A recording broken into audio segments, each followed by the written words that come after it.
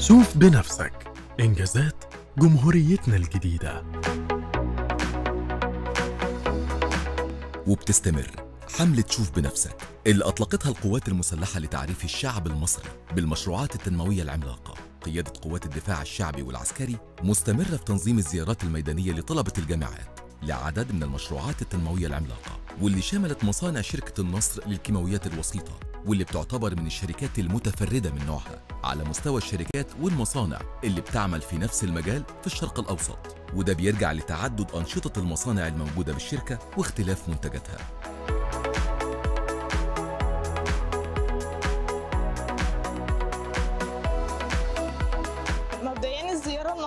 كانت زيارة جميلة جدا. أنا ما كنتش متخيلة مبدئيا إنها تطلع بالشكل ده. النهارده جينا زيارة لشركة النصر للكيماويات.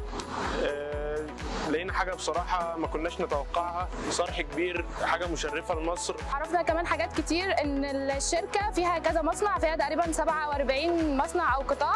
فشفنا النهارده حاجات جميلة والشركة ما شاء الله لذيذة اللي هو مصر فيها حاجات جميلة يعني. آه، مبسوطة إن في إن المصنع كامل قرية يعتبر مساحة كبيرة قوي من المصنع اللي قائمين عليها ومشرفين عليها مصريين كمان فكرة إن أنا من أنا وهنا أقدر أتابع كل المستشفيات في كل الجمهورية أقدر أتابع الأكسجين بتاعهم ناقص أو لا عشان أقدر أوفر لهم فده أعتقد إن هو هيحل مشكلة كبيرة مستقبلا إن شاء الله. كمان تم تنفيذ زيارات ميدانية لطلبة الجامعات إلى مصانع الشركة المصرية للرمال السوداء بمحافظة كفر الشيخ. الطلبة شهدوا إعداد وتجهيز المعادن الاقتصادية المتواجدة في خام الرمال السوداء الشاطئية وعمل القيمة المضافة لهذه المعادن لاستخدامها في الصناعات المحلية وتصدير الفائض للسوق الخارجي.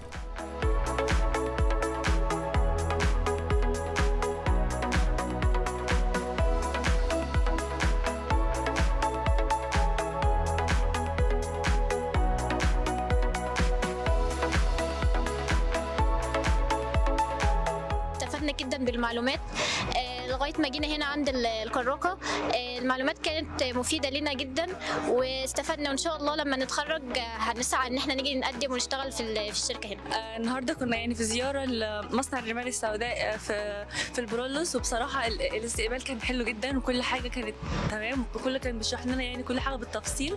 ودخلنا مصنع الزيركون ال- الجاف وال- والرطب وكانت يعني كل حاجة كان في استفادة كاملة بصراحة من كل حاجة. وإن شاء الله بعد ما نتخرج هنيجي هنا وهنعمل يعني هنتدرب وهيبقى في استفادة أكبر من كده كمان. كمان شملت الزيارات مجمع مصانع الرخام والجرانيت بالعين السخنة واللي بيعتبر من أكبر وأحدث مصانع الرخام والجرانيت في الشرق الأوسط وأفريقيا.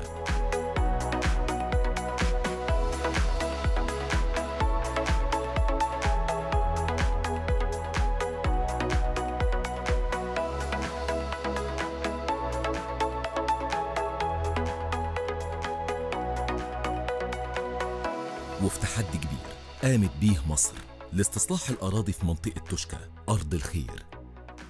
نظمنا زيارة لطلبة الجامعات شافوا من خلالها طرق الري والوسائل الزراعية الحديثة اللي بتتناسب مع طبيعة المنطقة ومنتجاتها المختلفة من المحاصيل الاستراتيجية اللي بتساهم في سد الفجوة الغذائية وتحقيق الاكتفاء الذاتي.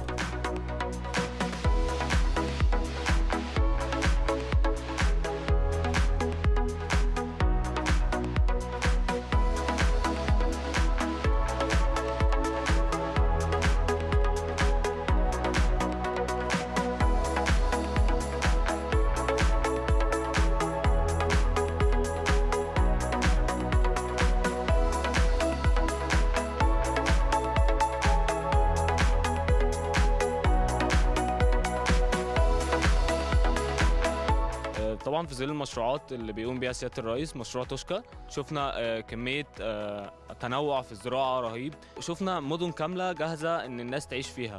إحنا الواحد فخور إن الرئيس السيسي دايما مهتم بالشباب إن هم يشوفوا الحاجة على أرض الواقع آه وإن إحنا في مشروع توشكا توفر فينا إن إحنا شفنا فتح آه طرق جديدة لمستويات العمالة. على كافة المجالات. فبجد الواحد فخور إن إحنا بقينا نشوف ده على أرض الواقع وإن الزراعة بقت متطورة في مصر.